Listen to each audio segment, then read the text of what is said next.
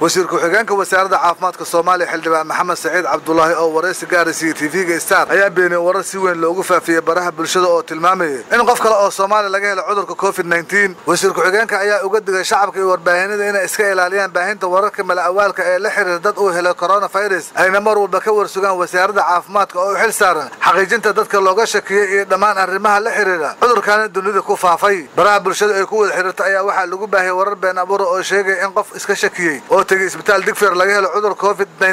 kadib markii la baara taasoo wasaaradda caafimaadku si weyn u beenisay. Kays waxaa jiray laba maalmood ka hor wasaaradda caafimaadku ay iclaamisay. Kayskaasoo dee iska imaanin oo baaritaan uu ku yimid maxaan dhahday sidaa la socotaanna afar qofood oo hadda ka hor meelahan wax looga shakisan yahay. Mid ka mid ah soo maray mid ka mid ah ayaa cudurkii laga helay sida wasaaraddu hore u cadaysay ilaa iyo hadda wadanka qof viruska coronaviruska mise covid 19ka qaba annaga ka wasaaradda caafimaadka ahaan waxaan u aqoonsannahay hal qof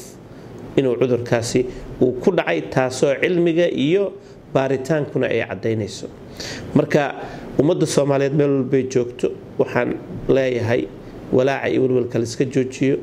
annagu dad muslimiinaan nahay qadarta ilaahayna waan aaminsannahay sidaas darteed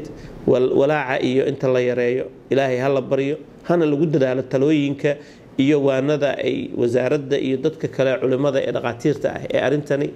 la xidhiira ay bixinayaan. Waxay leeyihiin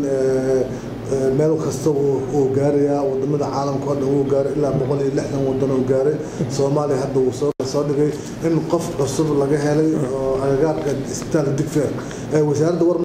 annagoo wasaaradka wasaaradda caafimaadka ahaan afartii qofoodoo aan hadda ka horna aan sheegnay in aan karantiin ku samaynay mid ka mid ah marka laga helay alxamdulilaahi rabbilcaalamiin ilaahayna aan ugu baryayno in uu mar dhow ka kiciyo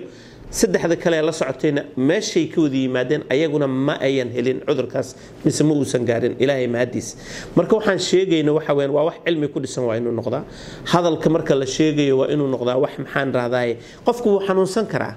temberaturekiisa boqol iyo inta la sheegaya calaamadihii waa laga heli karaa taasu micnaheeda ma ahan inuu cudurkani uu qabo.